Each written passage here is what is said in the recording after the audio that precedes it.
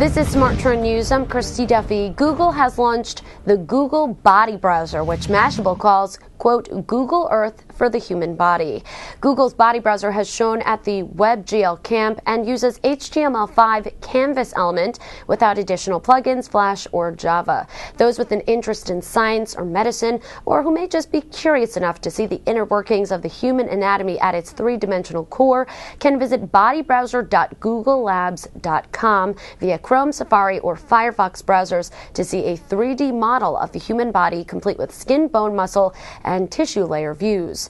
Users can zoom in, rotate, and search various inner workings of the human anatomy. Google had sales growth of two tenths of a percent during the last fiscal year. The company has reported $27.6 billion in sales over the past 12 months and is expected to report 25.8 billion in sales in the next fiscal year. Google has a potential upside of 15% based on a current price of $590.96 and an average consensus analyst price target of $679.75. For further updates, stay tuned. You're watching Smart Trend News. I'm Christy Duffy.